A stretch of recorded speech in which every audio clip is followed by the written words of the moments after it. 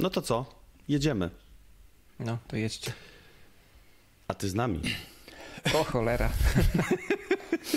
Okej, okej, okej. Cześć, cześć, cześć. Po długim weekendzie witamy. Dzień dobry, kłania się Państwu trzech PM-ów, a konkretnie Tomek Grochowski. Wojtek Dymowski. i Błażej Goraj. 3 PM to spotkania trzech project managerów. Spotykamy się tutaj, żeby porozmawiać o ciekawostkach w organizowaniu pracy zespołowej. Czasem sobie przytakujemy, a czasem się nie zgadzamy. Generalnie chodzi o to, żeby przekazać inspirację do budowania lepszych zespołów.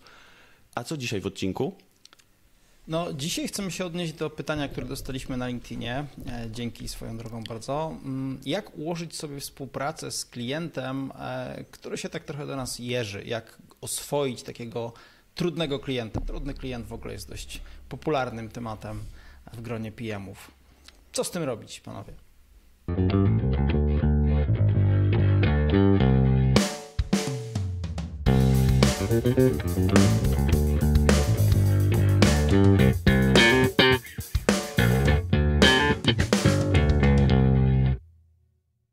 No to wiesz, to jest zawsze tak, że jak jest trudny klient, no to w takich e, rozwojowych e, projektach, jakich bierzesz udział, no to po prostu zmieniasz klienta, nie? Tak, o, ja bardzo lubię właśnie, miało być szybkie, proste triki, to jest jakieś rozwiązanie. Tak, to jest E, trik pierwszy. Dobra, to ja wrzucę też trik bardzo krótki. E, Jedną z metod jest organizowanie spotkań poza siedzibą klienta. A dlaczego? Dlatego, że podstawą wszystkiego jest zrozumienie. Klient się jeży, to dla mnie jest kluczowe pytanie dlaczego. I bardzo często problemy z klientem wynikają z tego, że klient ma nawał bieżących spraw, obowiązków, brak czasu i raz na jakiś czas, może niekoniecznie na początku, ale raz na jakiś czas warto pomyśleć i wyciągnąć klienta z tego jego otoczenia, które sprawia to jego jeżenie się na co dzień. Ja bym powiedział, że trudny klient to taki klient, który w sumie po drugiej stronie jest bardzo nieszczęśliwy i prawdopodobnie nam nie ufa z jakiegoś powodu. To może trochę brzmieć jak nie do końca klient jest trudny, tylko my jesteśmy z jakiegoś powodu trudni dla klienta, chociaż może to już jest daleko idące. Natomiast myślę, że większość sytuacji, w których powiemy, że klient był trudny, opiera się na tym, że ten klient nam po prostu nie ufa, czyli w sumie powinniśmy go najpierw posłuchać, co on nam rzeczywiście chce tą trudnością czy tym utrudnianiem powiedzieć. No dobrze, nie chcecie zmieniać klienta, no to zostańmy z tym, który jest, bo trzeba go rzeczywiście doceniać, bo można mieć i gorszego, więc y, mm, ja bym jeszcze dorzucił do tego jedną, jedną istotną rzecz. Nim zaczniemy się w ogóle mm, zajmować takim problemem, kryzysem, trudnością, może warto zrobić taki y, research, mówiąc po staropolsku, sprawdzić nasze informacje wywiadowcze o danym kliencie i tutaj y, często pokutuje brak sprawdzenia, czy my już coś o nim wiemy przed rozpoczęciem pracy z klientem. Mm, Być może w- nasza firma już z, tą, już z tym klientem współpracuje, być może już się ktoś mierzył z tym problemem tak zwanego trudnego klienta i warto zapytać o te mm, czułe em, elementy, o te, o te informacje. A dodam do tego jeszcze taki protip.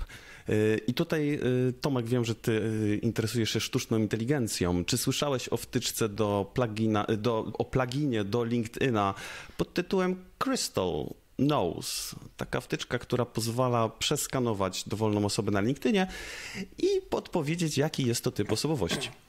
Dobry sobie ta osoba zrobiła w Krystalną się y, test zapewne. E, Dobra, słuchajcie, ale e, okej, to ja jeszcze dorzucę jedną rzecz, bo jak mówiliście o, o, o, o tych swoich jakby, mm, po waszych komentarzach mam taki wniosek, mm, bo warto jeszcze zrobić research w jednym źródle. Zapytać wprost tego klienta, bo często klient może nie to, że nas nie lubi, ale miał jakieś złe doświadczenia z poprzednimi dostawcami, z kimś. I mm, ja bardzo lubię asertywność, a asertywność to też wprost zadawanie pytań. Zapytać, ok, czego ten klient od nas oczekuje, jak chciałby, żeby wyglądała współpraca. Być może jak już się jeży, to zapytać, dlaczego się jeży, co mu się nie podoba, może w tym, co robimy. Ale właśnie wybadać złe doświadczenia z poprzednimi dostawcami, bo to z mojego doświadczenia dość często wpływa na współpracę z nami. No dobra, Wojtek- czyli, czyli, czyli mówimy, że jakby poznajmy historię tego klienta, tak? Żeby wiedzieć, z kim Tak. gadamy. Super, podoba mi się. I- Ja, bym, i ja bym inną perspektywę, y, jeszcze by jed- jednego tipa podrzucił. Zadbaj o swój spokój. Bo relacja z trudnym klientem bardzo często wywołuje u nas e, stres. Jakby nie rób z tego takiej samospełniającej Nie się reaguj. przepowiedni, zadbaj Ostro. o swój własny spokój, znaczy nie idź na to spotkanie już wściekły, już wkurzony, już przekonany, że "Mm, będzie trudny klient. No pewnie, że będzie. Jak idziesz z takim przekonaniem, to założyć, wiadomo, że po drugiej stronie będzie potwór, tak? No jak, jak wiesz, że tak będzie, no to to się y, spełni. Także myślę, że to jest y, to- to ode mnie kolejny tip. Zresztą czym bardziej to- to- klient jest wkurzony, tym e, czym, czym bardziej na, na spotkanie jest trudna atmosfera, tym częściej spokój i uśmiech e, no, po prostu pozwalają to trochę rozładować i pomóc.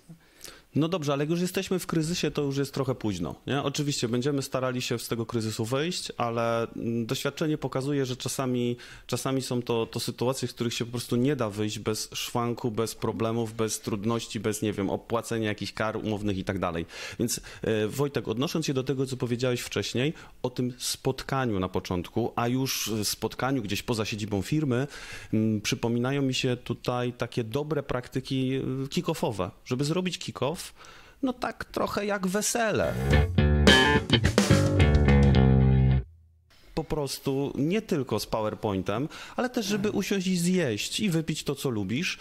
I ja mówię Wam szczerze, w sytuacji, w projektach, w których y, miałem y, dobre relacje z klientem, to były, takie, to były takie projekty, w których zaczynaliśmy naszą relację, spotkanie od tego, że zjedliśmy na przykład obiad. To jak już super, jak najbardziej analogia mi się podoba, to jeszcze dorzucę jedną rzecz, skoro już mówimy o wchodzeniu w mniej typowe elementy relacji z klientem. To pytanie do wszystkich, do słuchaczy, jak często chwaliłeś swojego klienta? Ja na przykład uważam, że pochwalenie klienta, o słuchajcie, to jest super pomysł, to naprawdę ten element robicie dobrze, bo my często, zwłaszcza jak ktoś wchodzi w rolę konsultanta, to naprawia światu klienta, bo to, co jest złe u klienta, trzeba poprawić, ale trzeba go też czasem pochwalić bezpośrednio albo pójść do przełożonych i powiedzieć u klienta, tak, słuchajcie, tam byliśmy na spotkaniu, ten, wasi ludzie naprawdę sobie fajnie z czymś tam poradzili, coś zrobili dobrze. To też buduje relacje w trochę inną stronę niż zazwyczaj mamy odruch. Mhm, mhm. To ja bym nawet powiedział, bo Błażej wcześniej mówiłeś o kryzysie, o tym, że coś się wydarzyło, coś się dzieje. To ja bym powiedział, zaczekaj czasami. Nie zawsze od razu musisz pójść na to spotkanie z klientem. Czasami nie zawsze od razu musisz zadzwonić, nie zawsze musisz odpisać. Zaczekaj chwilę, e, niech emocje po czymkolwiek się zdarzyło, e, chwilę opadną. E, Czyli jakby spróbuj ogarnąć e, jakby sytuację, która doprowadza do tego, że ten klient staje się jeszcze trudniejszym klientem. Za kilka godzin, a może jutro okaże się, że wcale nie taki straszny jest ten klient, że tam też jest człowiek e, e, po drugiej stronie.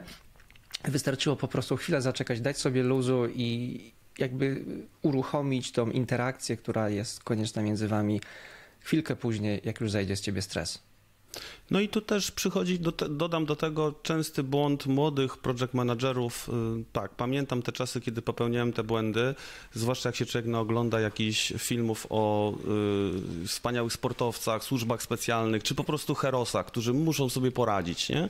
I y, wydaje ci się, że jesteś, że musisz sobie poradzić z tą sytuacją, musisz y, znaleźć sposób, a często w sytuacji trudnej warto skonsultować z kimś z większym doświadczeniem y, w projekcie. Ja nauczyłem się y, prze, przez te lata właśnie tego, żeby podnieść rękę i pokazać ryzyko, powiedzieć, słuchajcie, potrzebuję pomocy, czy potrzebuję konsultacji. Wtedy przydaje się zespół, wtedy przydaje się ktoś, kto ma większe doświadczenie i trochę spokoju może tobie dać, że nie jesteś sam z tym problemem, przygotowując się do znalezienia rozwiązania. A to jest w ogóle fajna rzecz mi się też tutaj skojarzyła, dlatego że my często też uważamy, że jadąc do klienta musimy w, e, być w roli absolutnie eksperta i nie wolno nam e, niczego nie wiedzieć. Mm, Ja na przykład e, wszyscy wiemy, wielokrotnie się to powtarzało w literaturze, jak bardzo ludzie lubią być zapytani i dzielić się wiedzą. Ja na przykład świetnie mi się sprawdza zapytanie klienta, prośba o wyjaśnienie czegoś, tak? E, Słuchajcie, zróbcie dla nas jakiś wykład z tego, bo czy spotkanie, opowiedzcie nam o tym, wytłumaczcie nam to, jak to działa, bo my jesteśmy dobrzy w pewnych rzeczach, ale na przykład w tym nie jesteśmy. I klient wtedy zaczyna, zaczynasz budować wbrew pozorom bardziej partnerską relację, bo ona, myślę, że większość problemów w spotkaniach z klientem wynika z tego, że mamy taką zbudowaną na początku relację. My mamy być mądrzy, a klient ma być mniej mądry. I to jest fatalny błąd. No to, to do tego, Wojtek, y, taki też protip, zapytaj klienta wprost, jakie on ma potrzeby, jakie ma interesy. od czego zależy jego sukces w tym projekcie, co ma się wydarzyć po prostu, żeby on dostał podwyżkę, czy dostał bonus, czy, czy mu się dobrze to wszystko zadziało, to wtedy będzie krótsza piłka i jasna sytuacja, o co chodzi, jaka jest ta ukryta agenda, co ma zrobić projekt, czy jakie ma dostarczyć rezultaty i w jaki sposób, żeby ten klient był zadowolony, bo zazwyczaj jest tak, że ten klient nie jest ostatecznym decy y, decision makerem, tak? Nie jest ostatecznym Błażej, osobą, nie, która co, podejmuje Stura, decyzję. Nie, nie, zgadzam się z tobą. Ja to wszystko wiem. Ja nie będę o nikogo tutaj pytał klienta. Ja to mam w umowie, ja jestem PM-em, ja tam jadę i ja wszystko wiem. Nie zgadzam propos, się, Wojtek. Właśnie o to chodzi, że to, co w umowie często jest zapisane, nie jest do końca wszystkim tym, o czym powinniśmy zdawać sobie sprawę. No, I w co? rozmowie wyłapiesz to, jeśli, masz, mhm. jeśli budujesz jakąkolwiek relację, nawet szczątkową. A propos tego e, niezgadzania się i tego, że, że wiesz lepiej, ja bym poszedł nawet dalej, bo mówisz Błażej, e, zapytaj klienta, z czym on przychodzi, jaki ma problem. Dobra, ale yy, ja bym powiedział nawet weź pod uwagę to, że czasami faktycznie nie wiesz, nie znasz odpowiedzi, masz problem, kiedy klient cię o coś zapyta, oddaj klientowi problem, z którym przychodzisz. Jakby pokaż klientowi tą niewiedzę i ten swój słaby punkt. E, Chris Voss w swojej książce o negocjacjach bardzo fajnie pisze o takiej technice negocjacyjnej, gdzie drugiej stronie pokazujesz, czym ty masz problem i czego nie wiesz i pytasz swojego klienta, słuchaj, to w zasadzie jak ty mógłbyś mi pomóc rozwiązać ten problem, bo w tym miejscu, w którym jestem, to ja nie znam na niego odpowiedzi i nie wiem, co z nim zrobić. I to bardzo zbliża ludzi, bardzo zmniejsza tą relację my i oni, taką, taką frontalnie nastawioną do atakowania, zmienia na taką, gdzie po prostu druga strona czuje się bardziej. Stawamy w roli nauczyciela. E, tak, znaczy więcej empatii wywołuje to po drugiej stronie, tak? I ten ktoś chce nam pomóc, bo my mamy jakiś problem e, i to ułatwia zmniejszanie tego takiego nastawienia. U, trudny klient, u, wredny dostawca. Ja to bym rozszerzył Tomek w ogóle o to, że my zbyt często pomijamy klienta w procesie projektu projektowania w ogóle jakichś rozwiązań. To znaczy my traktujemy, że my zaprojektujemy, przywieziemy, pokażemy, wy ocenicie. Sami sobie budujemy taką relację. A ja bardzo często daję kredki tak, i mówię, słuchajcie, rysujemy teraz razem, proszę. My narysujemy kawałek procesu, wy dorysujecie, jakbyście to widzieli. I to ma też pewną, pewną dużą zaletę, że po pierwsze klient jest zaangażowany w proces projektowania, zaczyna się z nim utożsamiać, a po drugie klient też w pewnym momencie zaczyna rozumieć, że pewnych rzeczy może nie rozumie, może nie wie, czyli jego pomysł nie zawsze jest idealny, ale pokazujemy wtedy sobie znowu, my się nie nabijamy z tego, nie wiem, nie krytykujemy tego, tylko mówimy, dobra, ok, słuchajcie, tutaj to ok, do tej pory tutaj było fajne to, co robicie, my może byśmy tutaj dołożyli to i naprawdę, no zresztą dzisiaj się już parę razy powtórzyło, tak, budujemy relacje, współpracujemy, mamy jeden zespół, a nie dwa różne zespoły. Chciałbym zobaczyć tego do... twojego klienta rysującego kredkami. Co musisz mi powiedzieć, takie ołówkowe czy świecowe, a pastele? Mam, a mam takie przypadki. Tak, to y, y, wbrew pozorom te rzeczy, te, te wszystkie rzeczy angażujące wiele różnych takich, że tak powiem, percepcyjnych elementów, właśnie usiąść, narysować coś, czy stanąć przy, wspólnie przy jednej tablicy, i porozmawiać o projekcie, to, to się przydaje. Y, wiecie, że ten problem, o którym tu też rozmawialiśmy, tak zwana Zosia Samosia, że ja wiem, ja muszę sobie poradzić i za późno podnoszę rękę o, z prośbą o pomoc do mojej organizacji, tak samo może być po stronie klienta. Jak często wydaje nam się, że ktoś jest właśnie jakiś zestresowany albo agresywny, ta osoba zazwyczaj jest przerażona albo y, też nie ma, nie ma całej, całego oglądu sytuacji, bo ktoś za tą osobą stoi, jakaś osoba decyzyjna i wtedy kłania się nam analiza interesariusza, albo też zapytanie o włączenie tego, tego, tego, y, tej osoby, która stoi za, tą, za tym klientem, z którym my mamy kontakt. I być może włączenie w to rysowanie kredkami i znowu ten start projektu i kick-off być może to jest dobry moment, żeby, żeby przyszli też ci, którzy tak naprawdę rozdają karty i którzy tak naprawdę wydają te decyzje, e, jeśli mamy sytuację, że nasz klient e, jest po prostu osobą tylko kontaktową, a nie jest ostatecznym mm, decydentem. Mhm. To jeszcze z drugiej strony, zupełnie z drugiej strony bym e, dorzucił sugestię, mimo wszystko, bo może trafić się sytuacja, w której ten trudny klient jest jednak jakimś takim wybitnie trudnym klientem, znaj granice, które są nieprzekraczalne.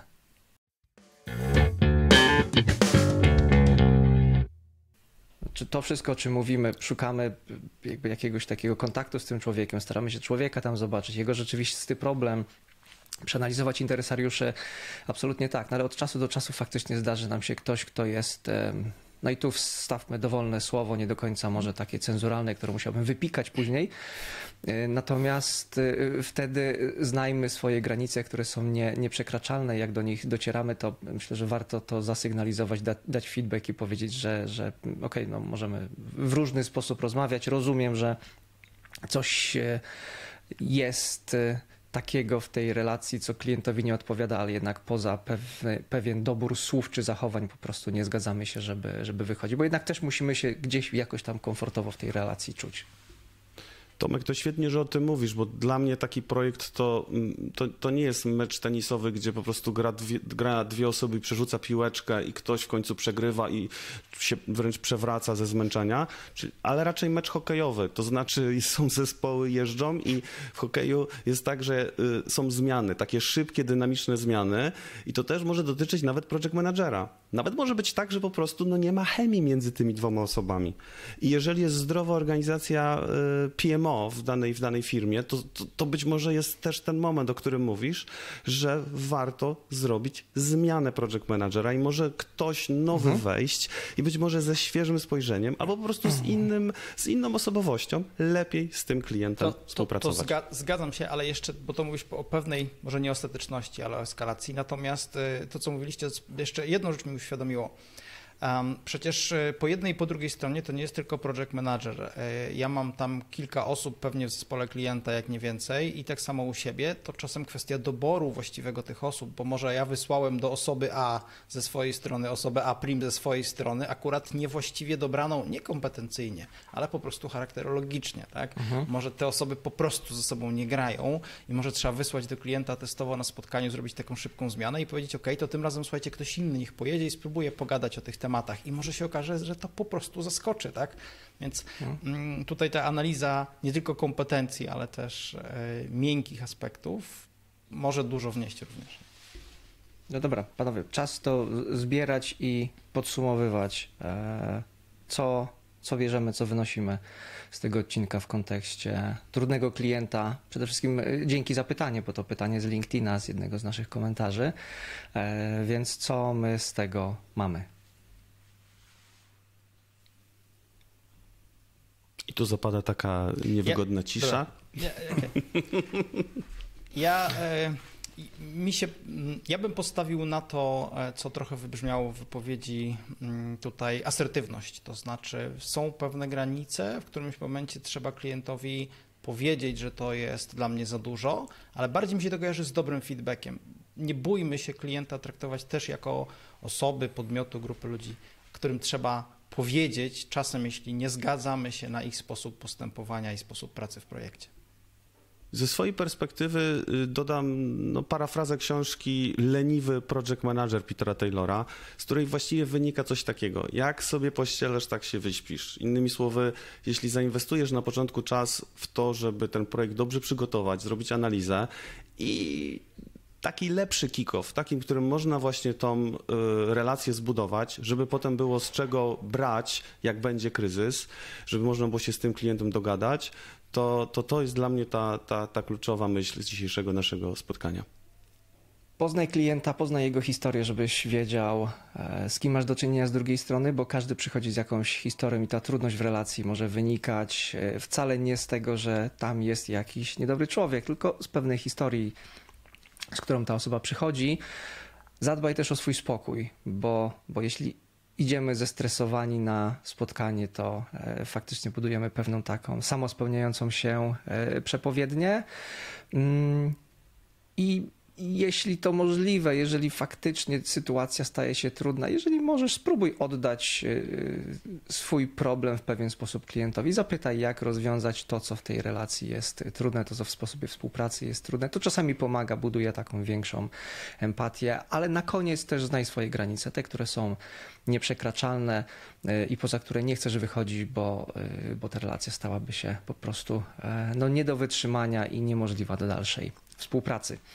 Parafrazując to, co Tomek powiedział o tej trudnej relacji, mam nadzieję, że nasza relacja z wami, drodzy widzowie, nie jest trudna i jeśli stwierdziliście, że ten e, odcinek miał dla was sens, to wrzućcie łapkę w górę, a może nawet subskrypcję. Dzięki.